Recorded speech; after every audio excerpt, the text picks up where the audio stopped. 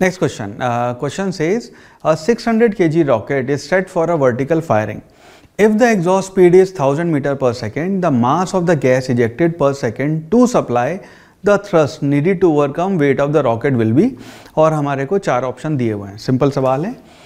Variable uh, मास का सवाल है। क्वेश्चन से इज़ कि यह आपका रॉकेट है।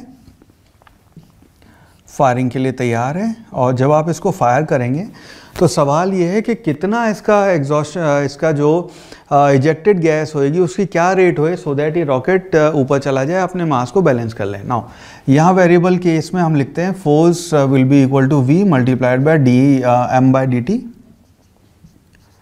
इस D M by D T की अपने को वैल्यू बतानी है। सो so, यहाँ पे D M by D T will be equal to force divide by velocity force यहाँ पे आपका एम है वेलोसिटी एम अब बिकॉज़ अभी हमें सिर्फ़ ये पूछा है इसको एक्सलेशन नहीं दे रहे हैं। अगर एक्सलेशन होता है तो यहाँ पे हम जी प्लस ए लिखते हैं।